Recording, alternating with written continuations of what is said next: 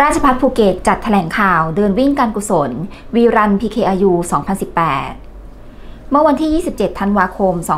2560 ณ อาคารเฉลิมพระเกียรติ มหาวิทยาลัยราชภัฏภูเก็ต งานประชาสัมพันธ์ กองกลางสำนักงงานอธิการบดี ร่วมกับกองพัฒนานักศึกษา และสมาคมศิษย์เก่า มหาวิทยาลัยราชภัฏภูเก็ต จัดแถลงข่าวศิษย์เก่ารวมพลังเดินวิ่งการกุศล We Run PKRU 2018 ในการนี้มีผู้ช่วยศาสตราจารย์ ดรอรไทยครุฑเวโช รักษาราชการแทนอธิการบดี พร้อมด้วยนายเรวัตอารีรอบนายกสมาคมสิทธิ์เก่า นายอรุณแป้นคง ผู้อำนวยการกองพัฒนานักศึกษา และนายธรรมนูญวรรณวิชัยกุล คณะกรรมการสมาคมสิทธิ์เก่า ร่วมแถลงข่าว โดยมีคณะผู้บริหาร บุคลากร นักศึกษา ตลอดจนแขกผู้มีเกียรติ และสื่อมวลชนทุกแขนงเข้าร่วมอย่างคับข้างผู้ช่วยศาสตราจารย์ดร อรไทยครุฑเวโช รักษาราชการแทนอธิการบดี มหาวิทยาลัยราชภัฏภูเก็ตกล่าวว่า สำหรับในปีนี้มหาวิทยาลัยราชภัฏภูเก็ต ร่วมกับสมาคมสิทธิ์เก่า จัดกิจกรรมเพื่อเสริมสร้างความสัมพันธ์อันดี ระหว่างสิทธิ์เก่าทุกรุ่นของมหาวิทยาลัย ประชาชนทั้งในจังหวัดภูเก็ต และจังหวัดใกล้เคียง ได้ทำกิจกรรมร่วมกันอีกครั้ง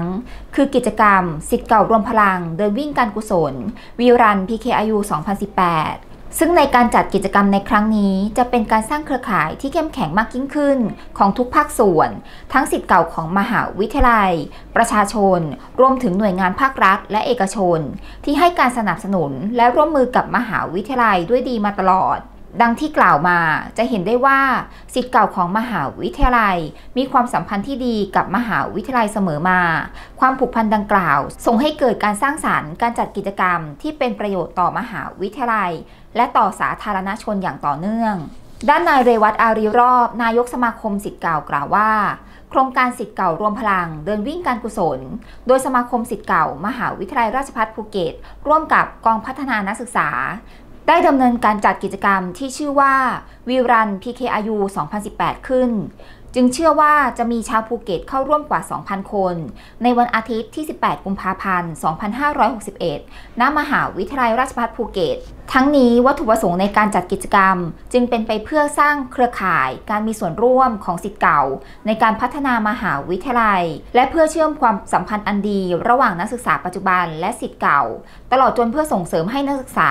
สิทธิ์เก่า บุคลากรมหาวิทยาลัย และประชาชน พร้อมใจกันออกกำลังกาย สร้างภูมิคุ้มกันให้กับสุขภาพการสร้างความสัมพันธ์ระหว่างสิทธิ์เก่าและมหาวิทยาลัย ให้เกิดความสัมพันธ์อย่างเข้มแข็งและยั่งยืนต่อไป ด้านนายอรุณแป้นคงผู้อำนวยการกองพัฒนานักศึกษากล่าวว่า